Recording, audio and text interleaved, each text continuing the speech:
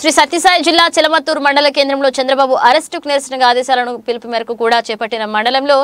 ప్రభావం చూ బంద్ ప్రభావం చూపలేకపోయిందని పలువురు టీడీపీ నాయకులు మద్దతు తెలిపినా జనసేన నాయకులు కొంతమందిని హవసర చేసి మరికొంతమందిని పోలీస్ స్టేషన్కు తరలించారు మండల వ్యాప్తంగా బస్సులు లేదా విధిగా నడిచాయని అలాగే దుకాణాలు సైతం కూడా తెరిచే ఉంచామన్నారు